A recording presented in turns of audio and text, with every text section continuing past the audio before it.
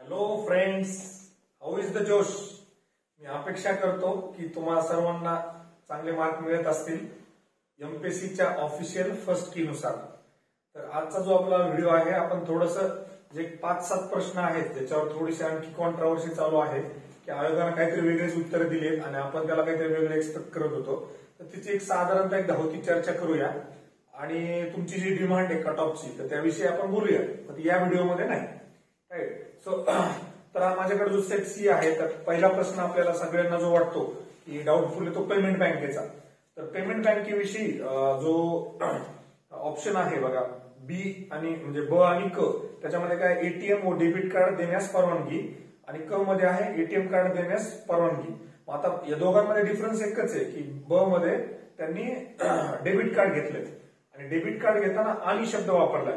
पण जर आपण आरबीआयची वेबसाईट जर चेक केली तर आरबीआयच्या वेबसाईटवर त्यांनी ऑब्लिक दिले स्लॅश म्हणजे किंवा एटीएम किंवा डेबिट कार्ड याचा अर्थ आता काय घ्यायचा आणि आयोगाला आपण कसं पाठवायचं? म्हणजे आयोगाचा आन्सर चेंज करेल किंवा क्वेश्चन कॅन्सल करेल तर ते आपल्याला थोडस बघावं लागेल. तर ते स्क्रीनशॉट जो आहे आरबीआय वेबसाईटचा तो तुम्ही टेलिग्राम चॅनलवर शेअर केलेला आहे. तर मी या व्हिडिओमध्ये खाली लिंक पाठवतो तुम्हाला. टेलिग्राम चॅनलची तर तुम्ही टेलिग्रामवरती चेक करू शकता. आरबीआयच्या वेबसाईटवर दिलेलं आहे की स्कोप ऑफ पेमेंट बँक्स त्याच्यामध्ये त्यांनी दिलेलं आहे. They can issue ATM oblique debit card हे ऑब्लिक जे म्हणजे किंवा आणि इथं जो शब्द आहे तो आणि त्याच्यामुळे हा सारा गोंधळ झालेला आहे. तर ज्यांना डाऊट असेल त्यांनी नक्कीच आयोगाला पाठवावं. आरबीआय इज ऑथेंटिक साईट आरबीआयच्या साईटवरचा स्क्रीनशॉट तुम्ही पाठवू शकता. तो आयोगाला कसा पाठवायचा त्याची प्रोसिजर सगळी तुम्हाला माहितच आहे. त्याच्यानंतरचा जो एक प्रश्न आहे बघा. त्याच्यानंतर बऱ्यापैकी लोकांना जो वाटला की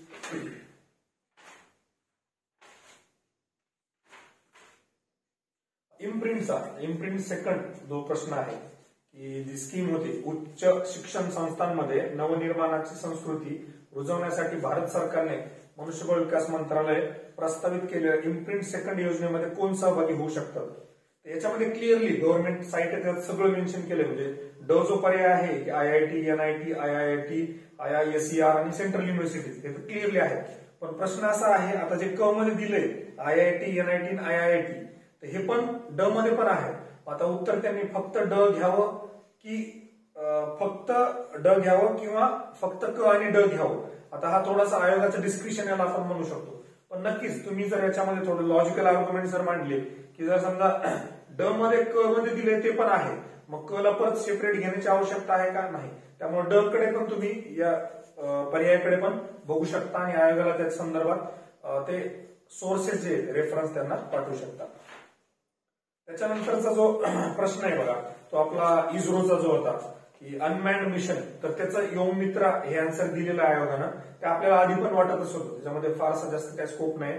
पण फारच लोकांचं जर चुकला असेल तर तुम्ही क्वेश्चन कॅन्सलसाठी डिमांड करू शकता. जसं की गगनयानचाच योम मित्र हा एक स्मॉल पार्ट आहे.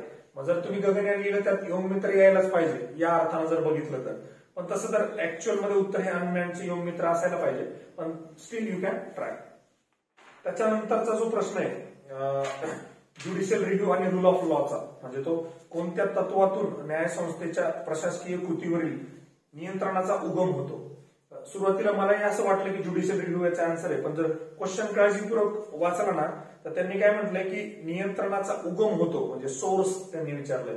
तर सोर्स जे आहे ते डॉक्ट्रिन ऑफ रूल ऑफ लॉच आहे ते काही ज्युडिशियल रिव्ह्यू नाहीये. ज्युडिशियल रिव्ह्यू हे एक मीडियम आहे. मीडियम आहे की ते तुम्हाला नियंत्रण ठेवता येतं. पण जर उगम म्हटलं सोर्स हे कुठून आलंय तर ते रूल ऑफ लॉ मधून आलं. Doctrine of rule of law मध्ये. रूल ऑफ लॉ म्हणजे काय? की कायद्याचे राज्य. मग काय ज्युडिशियल रिव्ह्यू मध्ये काय करणार? कायद्याचं राज्य आहे का नाही? जे ऍडमिनिस्ट्रेटर्स आहेत किंवा जे एक्झिक्युटिव्ह आहेत तर ते त्या पद्धतीनं काम करतायत की नाही ज्या पद्धतीनं करायला पाहिजे किंवा लिगली करतायत का नाही ती लिगॅलिटी चेक करण्यासाठी ते जे मीडियम आहे ते ज्युडिशियल रिव्ह्यू सो याचं उत्तर जे रूल ऑफ लॉ असायला पाहिजे. Doctrine of rule of law कारण त्यांनी उगम शब्द वापरलेला आहे. त्याच्यानंतरचा जो एक प्रश्न आहे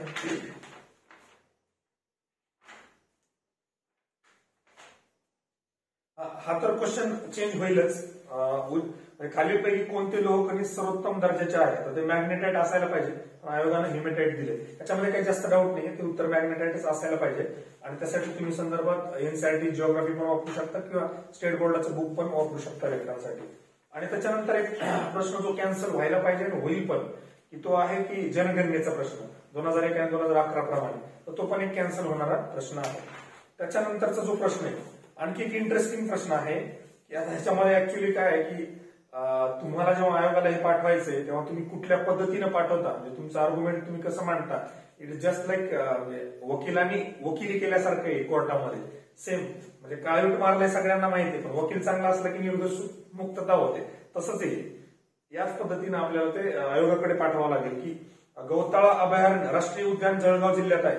पहिला तर प्रश्न असा येतो की ते राष्ट्रीय उद्यान नाहीच आहे. ते काय आहे की सँच्युरी आहे राईट मग तो एक पहिला मुद्दा आहे. दुसरा आहे की जळगाव जिल्ह्यात आहे. तर टेक्निकल जर बघितलं म्हणजे लॉजिकल रिझनिंग तर ते जळगाव जिल्ह्यात आहे. बरोबर? ते औरंगाबाद जिल्ह्यात पण आहे. पण इथं आता स्टेटमेंट असं केले ते राष्ट्रीय उद्यान जळगाव जिल्ह्यात आहे. हे स्टेटमेंट पण करेक्ट होतं. ऍक्च्युअलमध्ये ते बॉर्डरला आहे. दोन्हीकडे आहे. जळगाव पण आहे औरंगाबाद पण आहे. मग ते आपल्याला कसं हे आर्ग्युमेंट मांडवायचं मांडायचं आणि ते आयोगाला कसं पटवून द्यायचं याच्यावर सगळं डिस्क्रिप्शन असणार आहे. हा पण एक क्वेश्चन आपल्याला कॅन्सल करता येऊ शकतो. तर मॅक्झिमम लोकांचा चुकलेला असेल तर तुम्ही या दृष्टिकोनातूनही विचार करू शकता. बरोबर आहे? पण ते आता राष्ट्रीय उद्यान नाहीये आणि हे सँच्युरी आहे. हे सांगणं जरा म्हणजे जास्त अवघड होऊ शकतं आयोगाला. की तुम्ही जे शब्द वापरला तो शब्द चुकीचा आहे त्यामुळे तुम्ही हा क्वेश्चन कॅन्सल करण्यात यावा. त्यापेक्षा हे एक चांगलं आहे की ते जळगावमध्ये पण आहे आणि औरंगाबादमध्ये पण आहे. मग तुम्ही त्या पद्धतीने क्वेश्चन फ्रेम करायला पाहिजे होता. नाही केला माझा क्वेश्चन कॅन्सल तरी करा. या पद्धतीने एक आर्ग्युमेंट होऊ शकतं. या व्यतिरिक्त काही फारसं त्याच्यामध्ये परत मला वाटत नाही की कुठले जास्त क्वेश्चन चेंज होऊ शकतात. तर जे तुमची डिमांड आहे कट ऑफची तर ती मला वाटते की सध्या तरी अँसर की येण्याची मी वाट बघत होतो. सगळ्या बहुतेक कमेंटमध्ये मी बोललोय पण त्याविषयी. आणि दुसरी गोष्ट की आणखी काही जास्त लोकांचे मार्क्स कळलेले नाहीयेत किंवा लोकांनी सांगितले पण नाहीयेत. त्यामुळे हे आपण बघूया. उद्या जर पॉसिबल झालं चांगला एक स्कोअर आपल्यासमोर आले तर एक टेंटेटिव्हली आपण त्याविषयी पण चर्चा करू शकतो. तर आजच्या पुरतं हे. Thank you very much